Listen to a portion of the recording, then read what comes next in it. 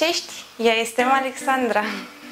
Hello, my name is Alexandra Petrea and I'm studying economics in 1 decembrie 1918 University of Alba Iulia, Romania.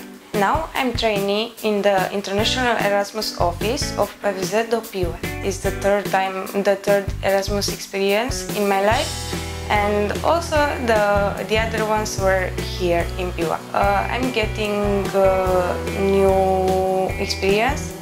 We are we are working uh, with uh, files, with computer. We are making we are pre preparing doc documents. I think with the fact that I was here for 12 months, I'm saying everything. Like I really enjoy it very much, and I had a, a lot of experience and I'm never getting bored here. They offer a lot of things.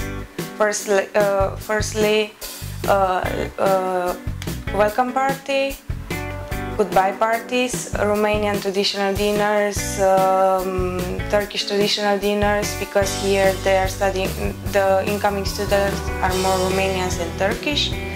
Like uh, nights just for going out and chat with each other and these things. I remember since I came here, like those days started, we started to learn Polish language with one of the coordinators and history and culture of Poland with the other coordinator. I did, uh, I've done plenty of things here. I, I think that Piła and Poland is a country that you never, you can never get bored. Like, for example, in Piła they have a lot of uh, possibilities for making sports, like I don't know everything for going for walks with uh, your uh, friends and also for parties. I cannot lie. Uh, it's awesome.